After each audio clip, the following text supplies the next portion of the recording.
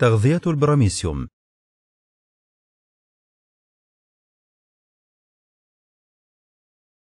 البراميسيوم هو كائن حي وحيد الخلية ينتمي إلى مملكة الطلائعيات قسم الأوليات شعبة الهدبيات. يتميز بشكل مغزلي طرفه الأمامي عريض والخلفي مدبب. يحتوي التركيب الخارجي للبراميسيوم على قشرة تعطيه شكله المحدد. وهذه القشرة محاطة بمجموعة من الأهداب تساعد في عملية الحركة. أما عن التركيب الداخلي فيشمل الإكتوبلازم وهو غلاف خارجي شفاف والإندوبلازم وهو داخلي محبب يوجد به نواتان كبيرة وصغيرة حيث تختص النواة الكبيرة بالعمليات الخضرية. أما النواة الصغيرة فتختص بالتكاثر.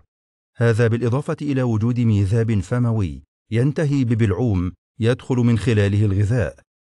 كما يشتمل تركيب البراميسيوم على فجوتين منقبضتين تصب في كل منهما عدد من القنوات الشعاعية الصغيرة. يعيش البراميسيوم في البرك وقنوات المياه العذبة ويتغذى على الكائنات الحية الدقيقة الموجودة فيها مثل البكتيريا.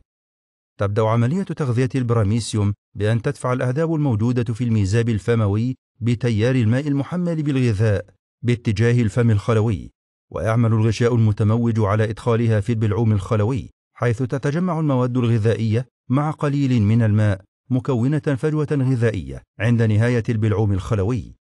وعندما تصل هذه الفجوة إلى حجم معين تنفصل عن نهاية البلعوم الخلوي وتبدأ الفجوة الغذائية رحلتها في الدوران في الأندوبلازم ليتم الهضم.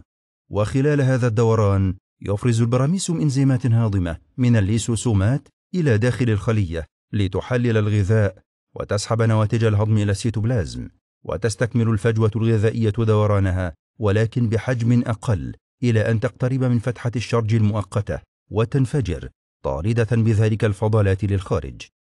أما لإخراج الماء فيتم عن طريق الفجوات المنقبضة التي تختص بتنظيم المحتوى المائي للجسم حيث يتجمع الماء الزائد عن حاجة جسم الحيوان داخل قنوات شعاعية يتراوح عددها بين ست إلى ثمان قنوات. وبعد امتلاء هذه القنوات تدفع الماء إلى الفجوة الوسطية الكبيرة والمستديرة الشكل.